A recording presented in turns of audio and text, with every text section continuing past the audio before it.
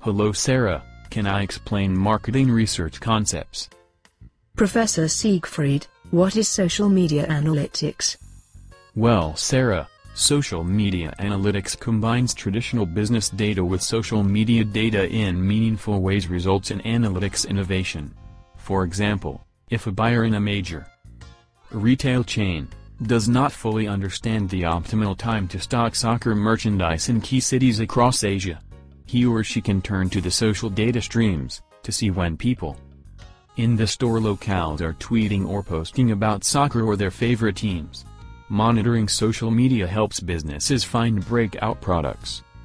Social media data is found data, and provides business and governments with an ability to observe naturally occurring conversations and message boards online, social networks, and blogs to get answers about their key demographics.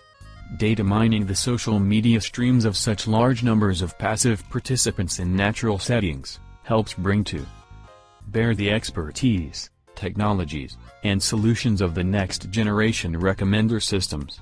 These systems build on big data psychology and mental heuristics to help consumers overcome the tsunami of information.